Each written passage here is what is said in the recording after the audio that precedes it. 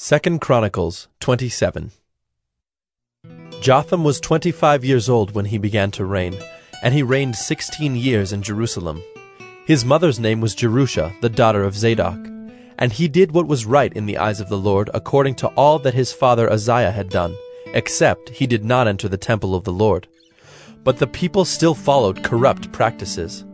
He built the upper gate of the house of the Lord, and did much building on the wall of Ophel. Moreover, he built cities in the hill country of Judah, and forts and towers on the wooded hills. He fought with the king of the Ammonites, and prevailed against them. And the Ammonites gave him that year one hundred talents of silver, and ten thousand cors of wheat, and ten thousand of barley. The Ammonites paid him the same amount in the second and the third years. So Jotham became mighty, because he ordered his ways before the Lord his God. Now the rest of the acts of Jotham, and all his wars and his ways, behold, they are written in the book of the kings of Israel and Judah. He was twenty-five years old when he began to reign, and he reigned sixteen years in Jerusalem.